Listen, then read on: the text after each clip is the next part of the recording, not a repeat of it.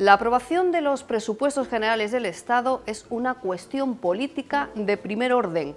Eso es lo que ha dicho esta mañana el ministro de Hacienda Cristóbal Montoro, que ha comparecido en el Congreso de los Diputados.